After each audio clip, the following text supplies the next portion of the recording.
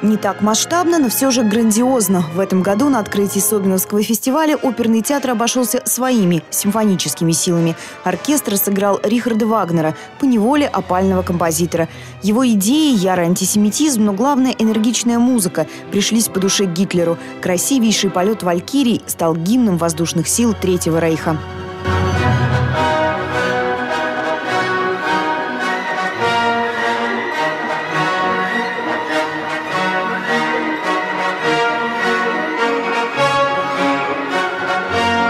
Посвятить фестиваль Вагнеру – это его идея. Юрий Кочнев вообще подбирает музыку для Собиновского исключительно по своему вкусу.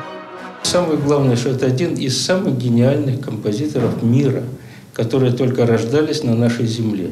И так получилось, что э, в этот же год родился и Джузеппе Верди, один тоже из гениальных композиторов мира.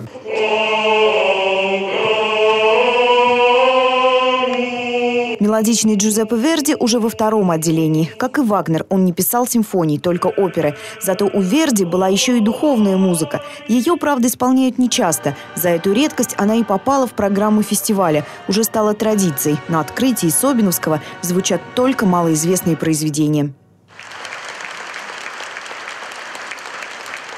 Судьба произведений Верди складывается благополучно. Его ставят всегда и везде. А вот оперы Вагнера идут мало. Разве что Мариинка может похвастаться едва ли не полным набором его произведений.